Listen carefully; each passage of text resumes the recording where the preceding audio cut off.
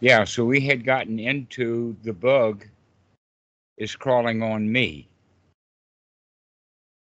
And I pointed out that the bug can't crawl on you, whatever you are. You are not buggy. That the, bu- that the bug can crawl on the leg, but you are not the leg.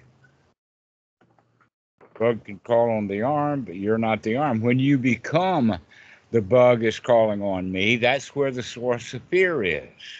Oh, I'm in danger.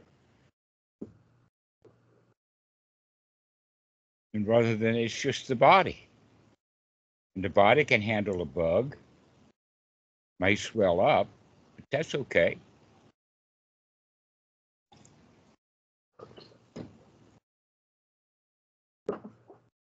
So this idea of, uh, of ide- identifying with things, Bhikkhu Buddhadasa says uh, nothing is worth uh, identifying with as I, me, and mine.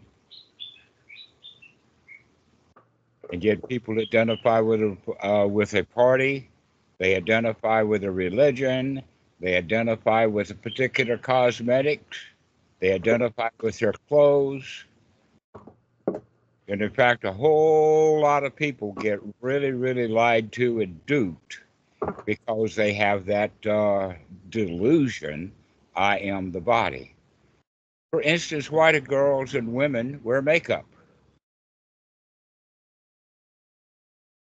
Because they have the statement, I am not beautiful, somewhere in the back of their mind. And so they paint the face so that nobody can see the real face, and everybody says, Oh, isn't she gorgeous? When in fact, what they're saying is, Ain't that paint job gorgeous?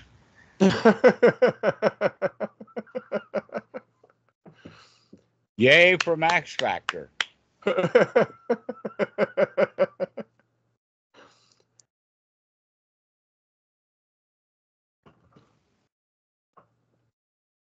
And so people identify with the body, they identify with the thoughts. They have uh, uh, language like I'm thinking, or in my humble opinion, etc., like that. And then, in fact, very, very few thoughts are original. Almost all the thoughts that ordinary people have, they got it from someplace else. For instance, I hate a politician, I hate Biden, or I hate Trump, is actually information, a sentence that they learned off of the media. Depends upon which media they're watching. If they're watching Fox, they hate Biden. If they're watching MSNBC, they hate Trump. Better not to watch any of that stuff and stop hating. Yeah, they're people are being told who to like. Mm-hmm. And we we pick that up without understanding that it's all just a pack of lies, and you've been picking stuff up a whole pack of lies your whole life. And so when your teacher and your mommy see I am the body and wear makeup, then you as a little boy you pick that up and you say, "Oh, well, I'm a body too." And yet you've been watching that body change and you couldn't do much of anything about it now, could you? Other than buy clothes to fit it. Yeah. yeah just uh, put decorations on it or something. Put decorations on it. Wear beads or mala around the neck. In, in fact, the word necklace sounds really crazy. Why should somebody have a necklace when you need a neck?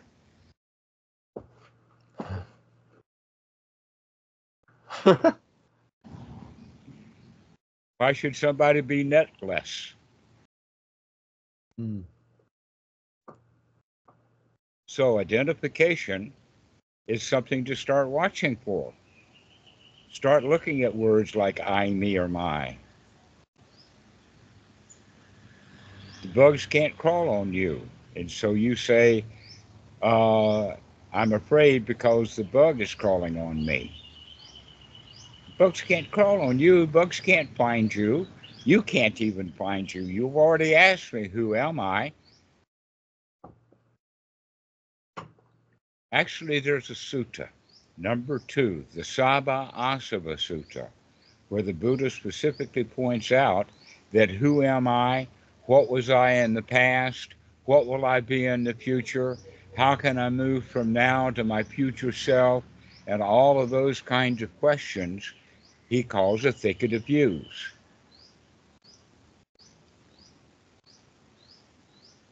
Unwise attention.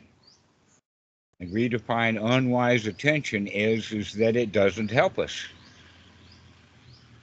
Makes us feel worse. But when we start paying wise attention, then several things happen. And what is wise attention? Wise attention is to the Four Noble Truths. Say, the bug is on me is a thought of dukkha instead of just saying that there's a bug. And so you don't like the bug. You're afraid of the bug. That's the second noble truth. The creation of the dukkha is because you don't like it. Why? Because you're afraid of it. Why? Because you identify with the body.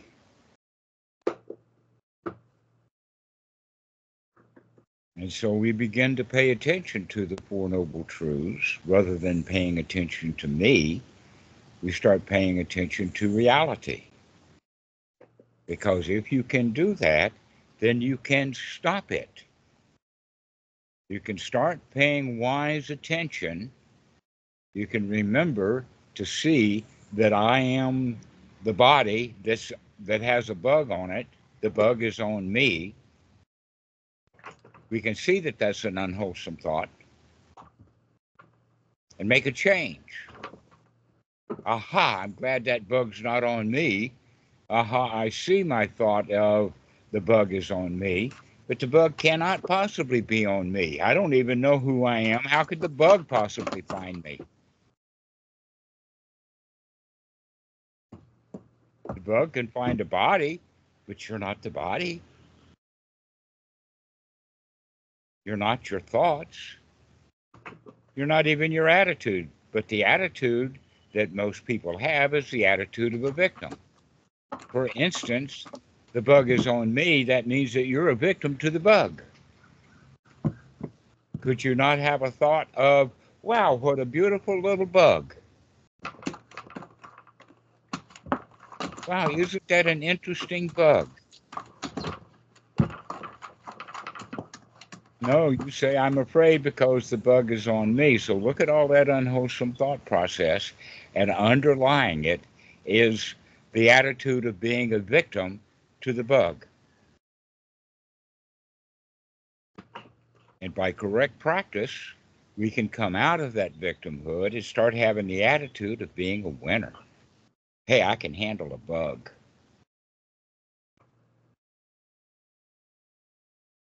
Hey, I can handle a mosquito bite. Nothing to it. It's not me the uh, uh, the mosquito has bitten.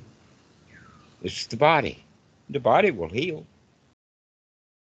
And here it is. I don't like the mosquito bite. Can you see that? Oh, I don't like it. Well, if you don't like it, why don't you put some salve on it and take care of it?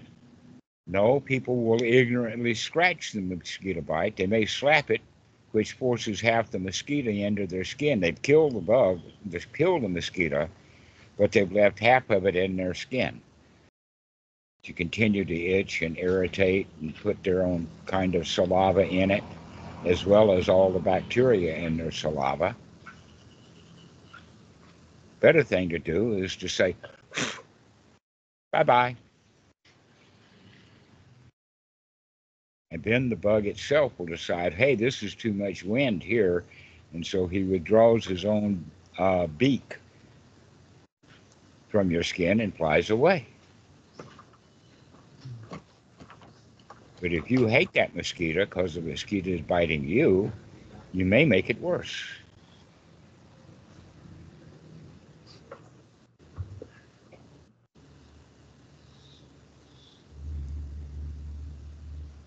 So the whole practice of the Eightfold Noble Path The whole practice of anapanasati is to start seeing these kind of unwholesome thoughts. The bug is on me, or I am a Republican, or I am a Democrat, and stop identifying with all kinds of things. That in fact, women often identify as a woman, but the one, but the what they're identifying with is cultural norms. Women are supposed to be like this and supposed to be like that.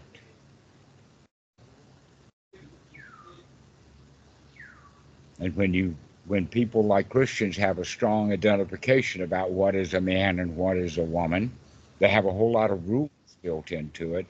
They wind up making themselves miserable. And then they pass their misery on to other people. Let's pass a law.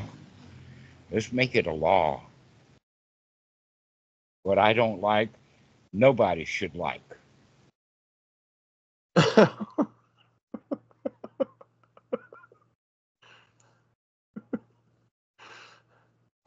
And what they don't like is just a matter of a bunch of rules that some preacher on a pulpit pounded on the Bible and said, this is the rule.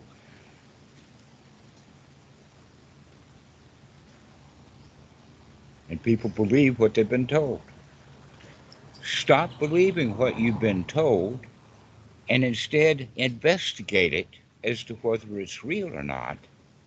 And if it's real, then it's knowledge. And if you don't know because you haven't investigated, then that's a belief. And victims believe a lot of stuff. Wise people don't believe anything. The statement would be I don't believe in belief. Believe in investigation, believe in knowledge. But then we change the word belief. So a better way even to say it is is that I don't believe in belief because I know that knowledge and experience and investigation is better than belief. So I don't believe in anything. I know. Or I don't know. If I don't know, then I don't know, and I know that I don't know, and I'm happy that I don't know.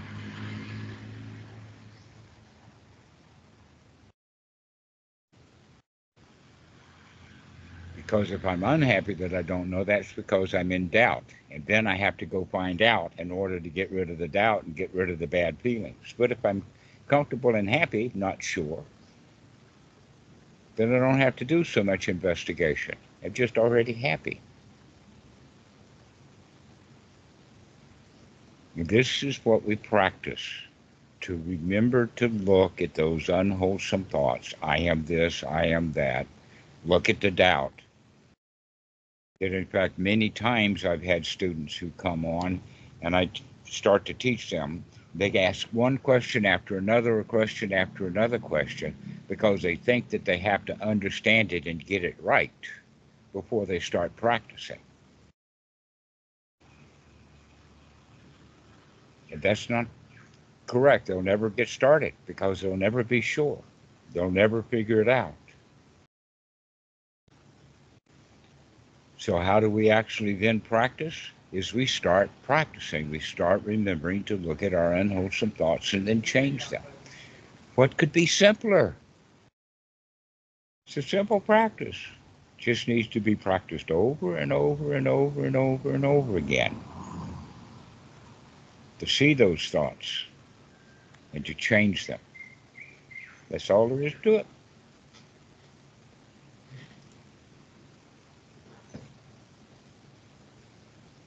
So I imagine now that when you start to say a bug is on me, you'll remember.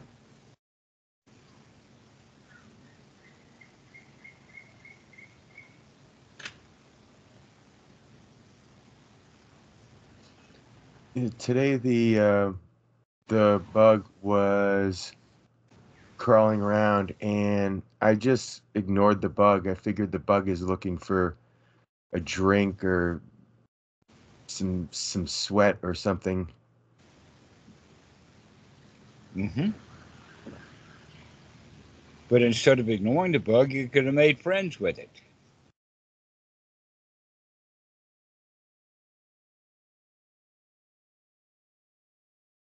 Hello, Mr. Bug.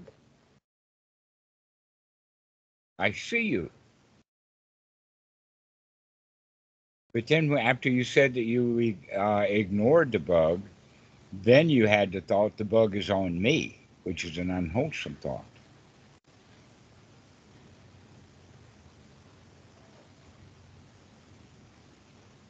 It's Yeah. unwholesome for several reasons. One of them is that it's not possible. And another one is is that you don't like it when the bug is on me.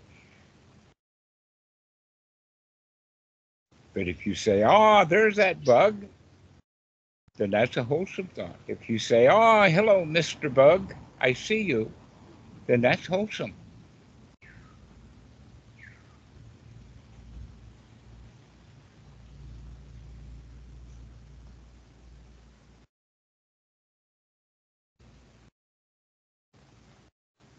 That is um, that is how I think nearly everyone perceives the world uh, at one time uh, early in life. hmm And we pick that up from our parents. We pick that up from our siblings, Aunt Susie's, grandmas, and then by the time that we're in the first grade, we get a really strong dose of it from the teachers. And we pick that stuff up because we're too young and too unwise, not developed enough to recognize that they're full of crap.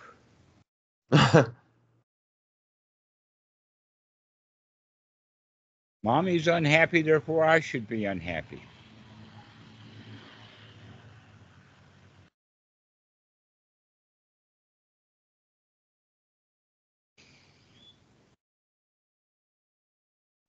Yeah, I did uh, pick up a lot of um, dislikes from my parents,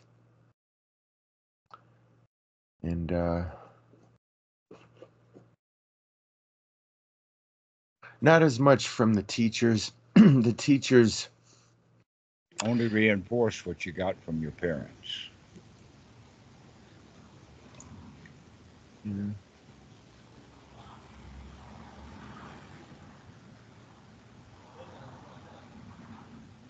More evidence.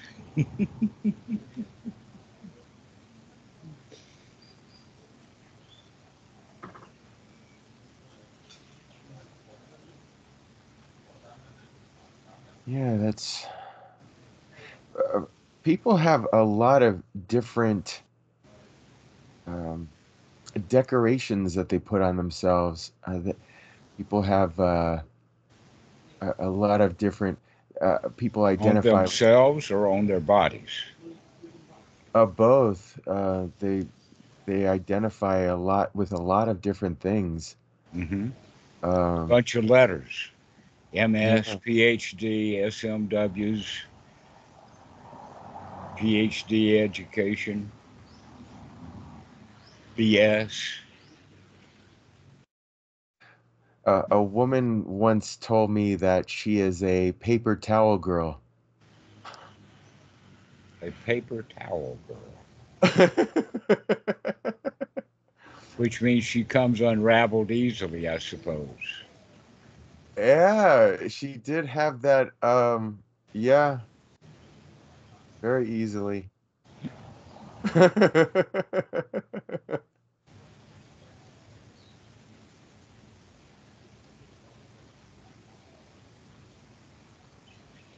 So the better thing to do is to not identify with anything. But in fact, when you do identify with something, remember to see that, remember to look and to see it, because then you have a choice. Aha, I see me identifying. I see that identification. Wow, what a relief it is to not identify with towels, especially paper, Max Factor, Gucci, Rolex.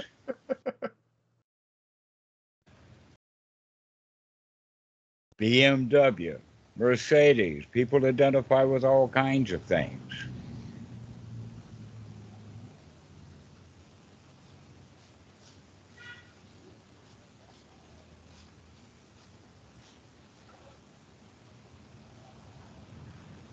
The reason that people identify with things mostly is because they are, victims, that they're not as good without that stuff.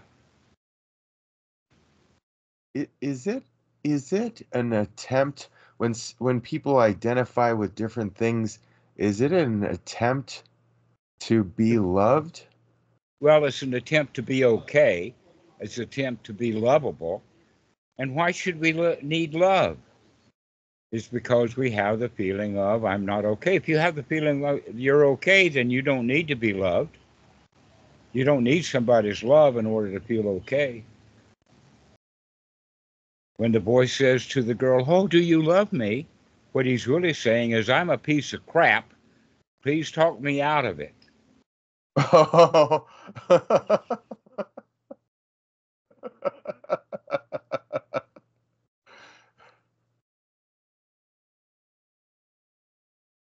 But if he's already okay, he doesn't need her love.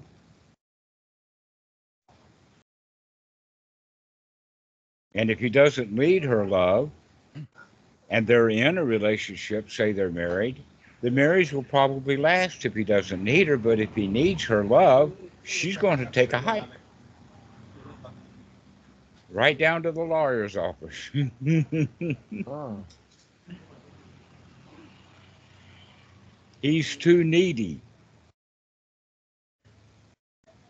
When in fact he's just feeling not okay. So whenever you think that you need somebody's love, you can say, aha, I see that. I see that I have victimized myself into feeling not lovable, and you want somebody to love you. And then you can say, wow, I'm glad I saw that because I'm already okay. The reality is, is that I'm already okay. Wanting to be loved is a lie.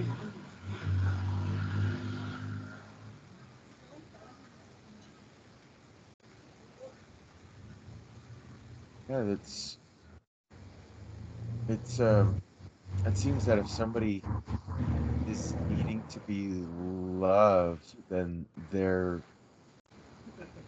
they're insecure about that if they're asking someone if they love them. Yeah, you can tell somebody you love them because that'll make them feel better because they don't feel okay. Mm. But probably a more truthful thing to say is, hey, you're okay. You're doing a great job of being alive.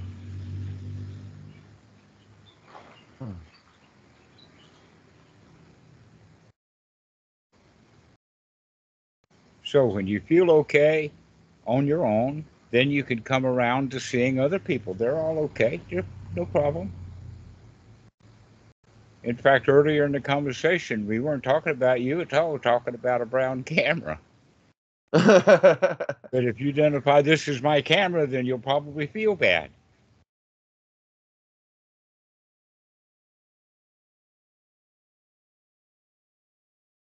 Where in fact that's not you, that camera.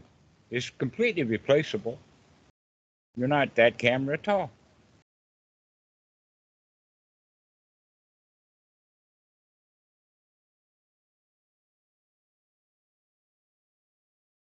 So this is the right way to practice. This is the Eightfold Noble Path, is to start looking at all of these thoughts that we have that wind us up in uh, bad feelings. Here's an example of a bad feeling: is the guy wants a girl, and so he goes and he buys a car. Bought, in fact, what they call a chick magnet. And then he's got to make payments on it. It gets scratched and dented. The uh, the leather seats get torn, and the car didn't get him a girl at all. So now he's got a car he don't want and he don't need, and he still doesn't have the girl that he wanted. And he could have seen that, oh, I want a girl, but I'm okay without one. That in fact, the Buddha talks about it in in the sense of dukkha is easily defined as wanting something you don't have. If you want something you don't have, like you wanted that uh, bug to be gone.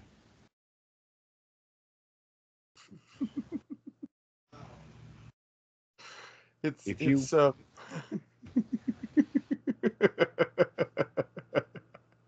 it's it's a much easier challenge than than going out to get a car to uh, accept the bug.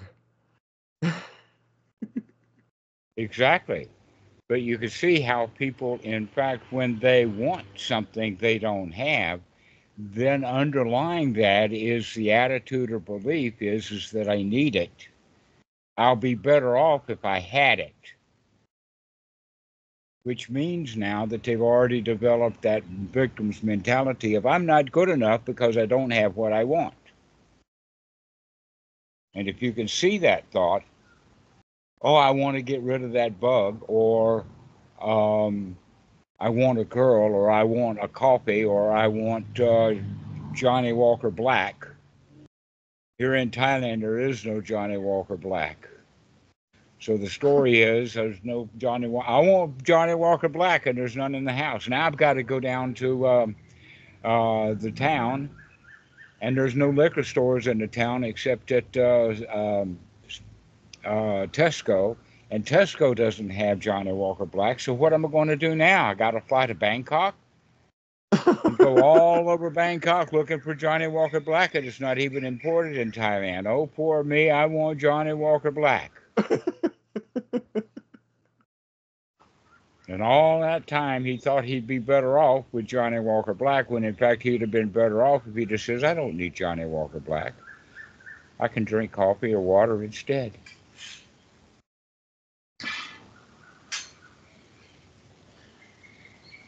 So when we want things we don't have, we're not good enough. We're a victim to the reality that we don't have what we want.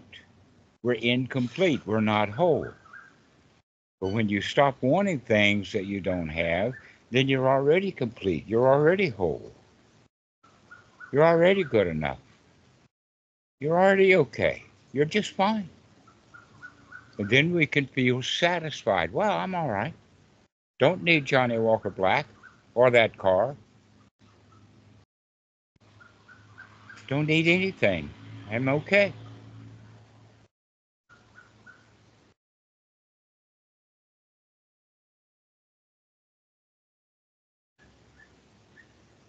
Got it made. Whatever it was.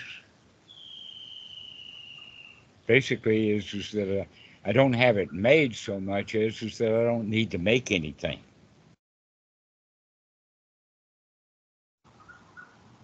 Already got all that I need. And that leads us into feeling safe, secure, comfortable, and satisfied.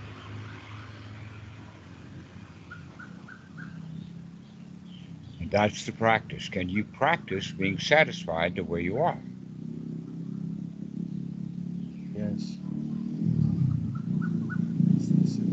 When everything in any thoughts of I need this and I need that come up, the question first off is is it easy enough to get?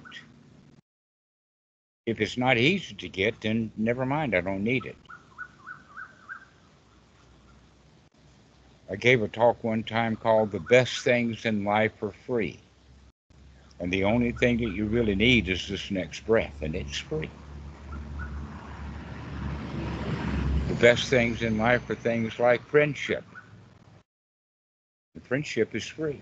I know that a whole lot of people buy friendship because they don't know it's free.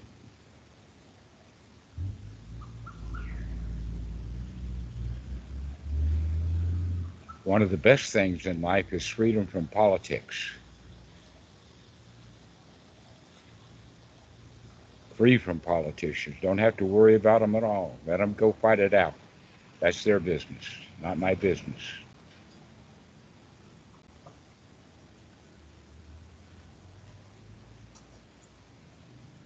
I'll be okay no matter what happens. That's the winner's attitude. But if you say, oh no, if that guy wins, we'll have a disaster. And look, you've got millions of people on both sides saying that. And everybody's really uptight because that other guy may win and then we'll have a disaster.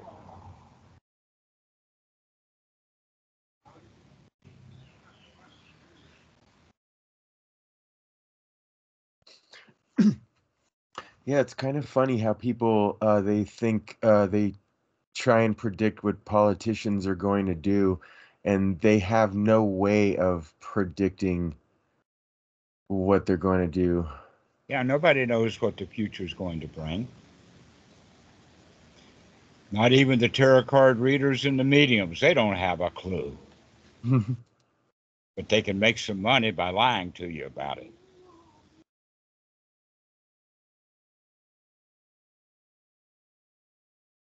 Oh, you're going to have a good year next year. Five dollars, please.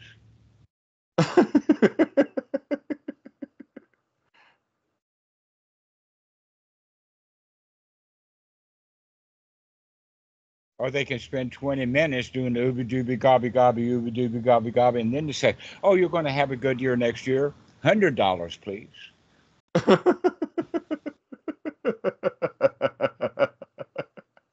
and they can do that with tarot cards and tea leaves and bones and knuckles and cutting up chickens and all kinds of stuff that drives the price up. And they don't have a clue about what's going to happen.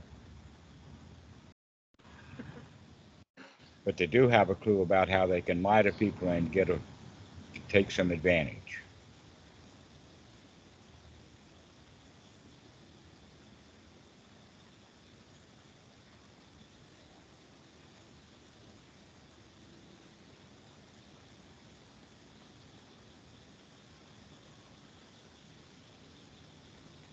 So the best part then is just be satisfied with right now. Right now is good enough.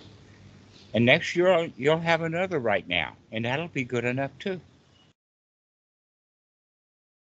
The best things in life are free, and one of the best things that is free is right now. And you've got it. You've got it right now. And you've got another one right now. It's always right now.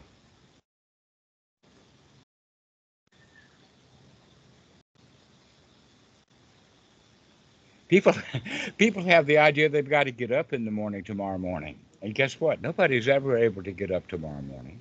Never happens. They get up today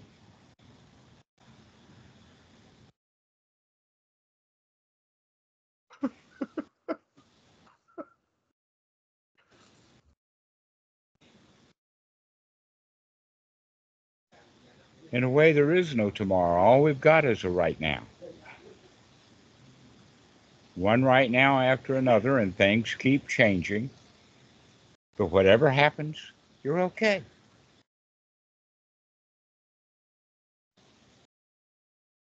Can you remember that? Can yes. you remember that?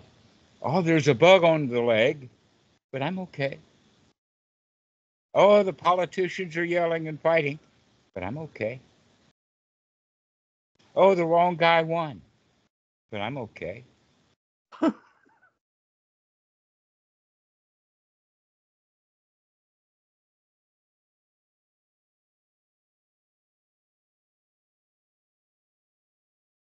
So I would recommend that you do this probably five or six times a day for about 10 minutes. Is just to sit down and start looking at the thoughts and say, I'm okay.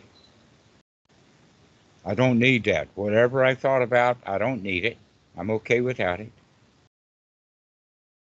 Oh, I want her to love me. I'm okay. I don't need her being loved. Did you think about a fountain pen and you say, Oh, I want a fountain pen. I need a fountain pen. Oh, no. You don't have a fountain pen right now and you're okay.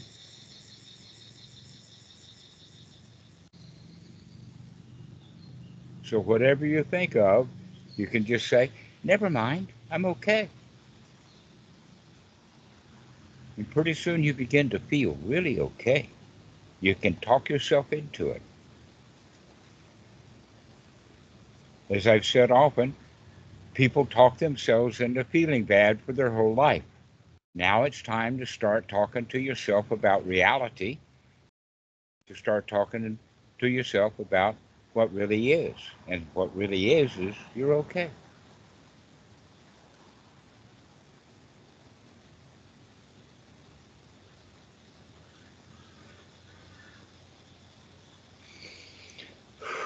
Oh, what a relief it is.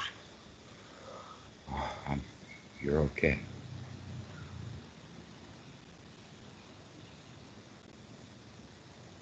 Can you practice that? Yes. All right. Well, let's finish now, and you go practice that. Practice being okay. Practice not needing a thing. Practice is not my body, it's just a body. Not my feelings, just feelings. Not my attitude of being a victim, it's just an attitude. It can be changed. Feelings can be changed. Thoughts can be changed. And when you start looking at the body, breathing, getting to know the body, with the idea of it relaxing, then you can change the body into a state of relaxation. Bodies know how to relax. It's the mind that generally keeps the body uptight because they want things. You just say, oh, what a relief it is. And just relax. Those are the four things the body, the feelings, your attitude, and the thoughts you have. you can change all four of them.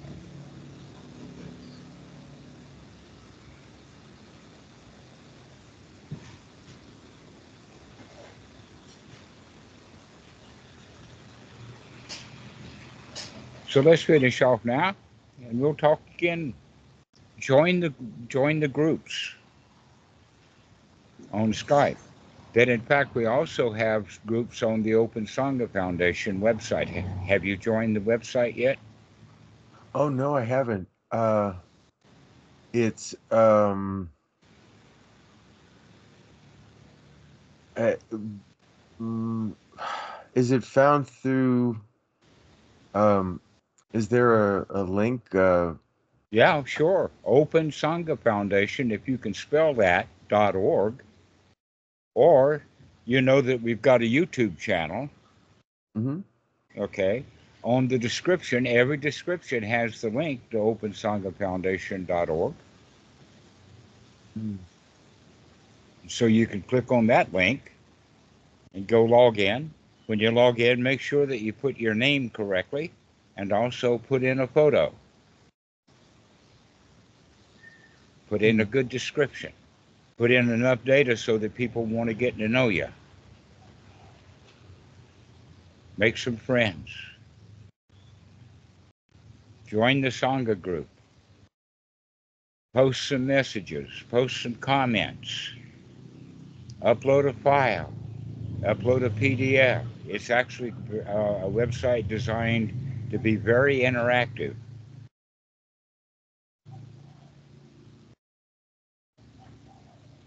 And the best part of it is the search, because we've got about 7,000, 6,000 at least uh, places. You can search by city and find things and people that are close to you. Oh. You can search for people named John. You can search by zip code, search by country, Search by lineage.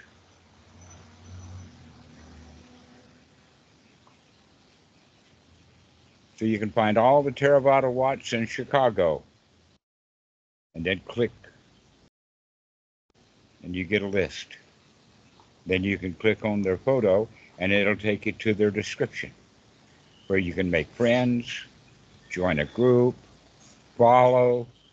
Basically, it's a, uh, a Buddhist website uh, that's there's actually a Facebook or an Instagram for Buddhists.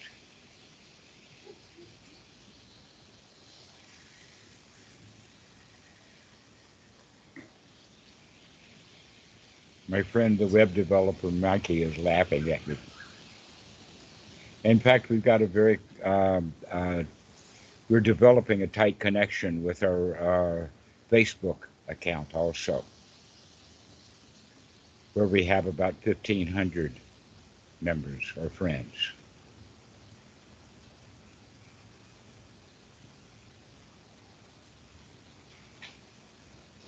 I like that community. It's wonderful. It's a community. That's why it's called Sangha.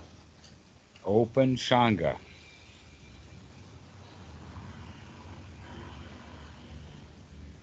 Where you can find people all over the world. It's up and running. It's under development, but it's up and running. Wow, that's wonderful. All right. Well, we'll see you later. Okay, yes, definitely.